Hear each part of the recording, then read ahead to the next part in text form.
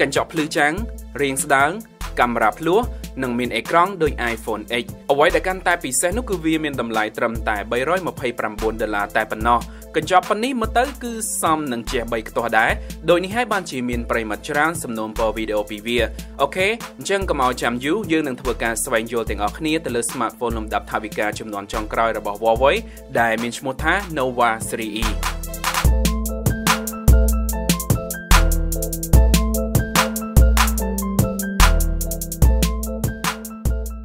Nova 3E ឬ P20 Lite យើងអាចហៅវាបានដូចគ្នាគ្រាន់តែនៅស្រុកយើង Huawei កំណត់ហៅថា Nova 3E តែច្បាស់បំផុតនោះគឺនៅពេលដែលដោតចូល PC វានឹងលោតឈ្មោះថា P20 Lite 3E ចេញលក់មាន3ពណ៌គឺផ្កាឈូកខ្មៅនិងខៀវវានៅមានគីឡូមេពីរគ្រឿងទៀតដែលខ្ញុំនឹងធ្វើការបង្ហាញតាមក្រោយ គឺ P20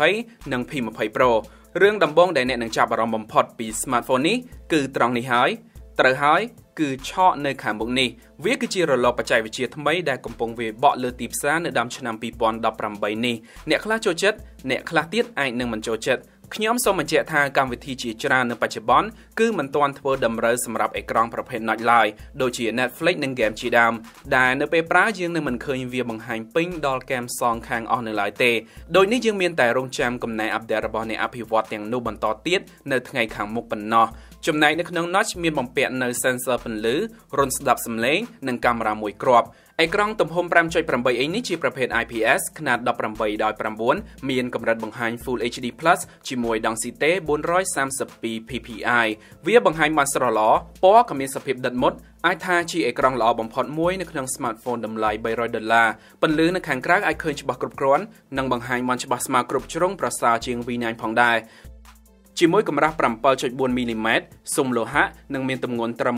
145ក្រាម Nova 3E ពិតជាស្រួលកាន់ក្នុងដៃមួយបានស្និទ្ធនិងមានអារម្មណ៍ល្អនៅក្នុងប្រអប់ដៃទាំងអ្នកមានដៃតូចនិងដៃធំ ហើយក៏នៅផ្ដល់បទពិសោធន៍បែប Premium ដោយ Honor 9 Lite ផងដែរសន្ទះ scan ដោះសោក៏ស្ថិតនៅចំកន្លែងសម្រាប់ម្រាមចង្អុលដោយនេះវាងាយក្នុងការដាក់ដោះបានភ្លាមភ្លាមវាក៏ស្គាល់បានរហ័សដោយមិនចាំបាច់បើកអេក្រង់មុនឡើយចំណែកការ scan សម្គាល់មុខក៏ធ្វើការបានលឿនដូចគ្នាមិនដល់1វិនាទីនោះទេលើកអេក្រង់ដាក់ចំមុខចុចប៊ូតុង power boom វាលោតចូលដល់ផ្ទាំងមេនុយភ្លាមវាក៏មានកម្រិតការពារខ្ពស់ដែលមិនអាចឲ្យគេលួចដោះនៅពេលអ្នកគេងឬប្រើរូបថតអ្នកបានឡើយ នៅលើស៊ុមលោហៈនេះយើងឃើញមានប៊ូតុងសំឡេងនិងប៊ូតុងចាក់សោនៅខាងស្ដាំខាងឆ្វេងមានសន្ទះចាក់ចេញដែលទ្រទ្រង់ SIM card បាន2និង SD card ដល់ 128GB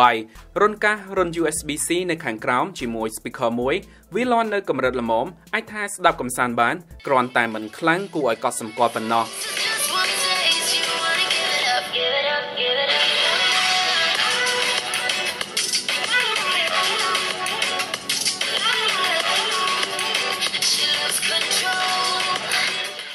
ត្រឹម300ដុល្លារយើងអាចស្មានដឹងមុនហើយថាកាមេរ៉ានិងកម្លាំងម៉ាស៊ីនគឺមិនអាចលោតដល់លំដាប់ smartphone កម្រិតខ្ពស់បានឡើយដោយ 3E ប្រើបន្ទះ chip Kirin 659ប្រភេទ8 core GPU Mali T 830 RAM 4GB ជាមួយទំហំផ្ទុក 64GB វាល្មមសម្រាប់ការលេងហ្គេម 3D ធំល្មមបានដូចជា PUBG រត់បានទេក្នុងកម្រិត graphic មធ្យម Vainglory អាចលេងបាន setting ខ្ពស់និងទទួលបានពិន្ទុ89082ក្នុង Antutu ចំណែកការប្រើលើប្រព័ន្ធដំណើរការ Oreo នេះក៏មានភាពរហ័សក្រនបើផងដែរវាស្របដោយស្បែក EMUI 8.0ដែលមានបទពិសោធន៍ប្រើប្រាស់ច្រើនស្រដៀងទៅនឹង P20 បងរបស់វាកម្មវិធីចុចចូលបានលឿនការបើកកម្មវិធី2អាចប្រើចែកអេក្រង់បានល្អជាមួយកម្ដៅក៏មិនឡើងគួរឲ្យកត់សម្គាល់ដែរនៅពេលប្រើក្នុងរយៈពេលយូរចំពោះធម្មពលថ្ម3000មីលីអង្ពែនៅក្នុង smartphone ស្ដាងនេះ គឺធ្វើបានល្អទៅលើការរក្សាជីវិតដល់2ថ្ងៃសម្រាប់ការប្រើបែបទូទៅលើអេក្រង់ជាប់របស់ខ្ញុំដូចជាថតរូបភាពច្រើន Facebook ក៏ដូចជា YouTube វាអាចស៊ូបាន4ម៉ោង5នាទីនិងនៅសល់ថ្ម4%បន្ថែមហើយវាក៏អាចសាកចូលវិញបានរហ័សផងដែរតាមដុំសាក Quick Charge ដែលបន្ថែមក្នុងប្រអប់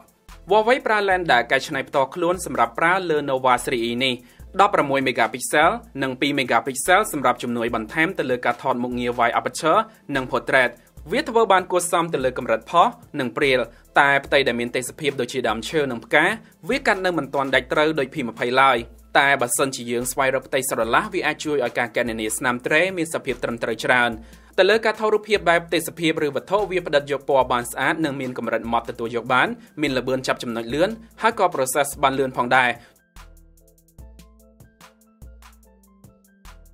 ចំណែកប្លង់ពន្លឺទាបឬនៅពេលយប់វារៀងពិបាកបន្តិចក្នុងការធ្វើឲ្យរូបភាពភ្លឺដោយមិនមានក្របអុចនិងស្នាមព្រាកបែបគំនូរ Nova 3e អាចថតវីដេអូកម្រិត Full HD ល្បឿន30 frame និងភ្ជាប់មកជាមួយមុខងារច្រើនដែលមិនងាយរកមានលើ smartphone លំដាប់ថវិកាដទៃនោះទេមុខងារ Pro Mode នៅតែមានប្រយោជន៍និងប្រើបានពេញដៃសម្រាប់អ្នកដែលចូលចិត្តឆ្កឹះឆ្កៀលប្លង់បន្ថែមហើយវាក៏មានមុខងារ AR lens ថ្មីដែលអាចបដូរផ្ទៃ background បានច្រើនហើយក៏សម្បូរ sticker ស្អាតៗអមមកជាមួយសំឡេងទៀតផង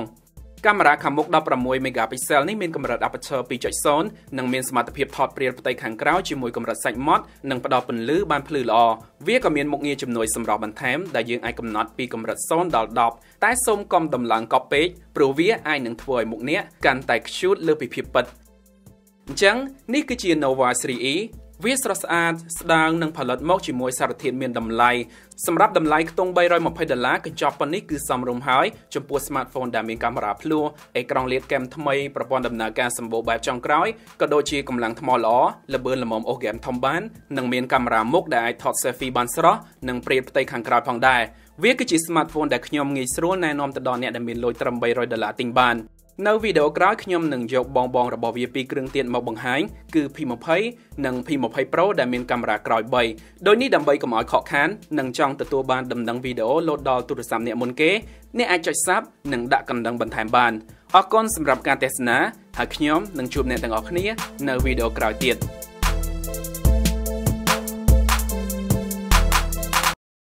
គ្រប់គ្នាតែងតែសុបិនចង់បានជីវិតដែលដូចក្នុងរឿងនិទាន ប៉ុន្តែពេលខ្លះជីវិតយើងអាចប្រសើរជាងរឿងនិទាននោះទៅទៀតមិនចាំបាច់សុបិនទៀតទេឥឡូវនេះអ្វីអ្វីអាចคล้ายជាការពិតទាំងអស់ផ្ដល់សុភមង្គលដល់គ្រួសារលោកអ្នក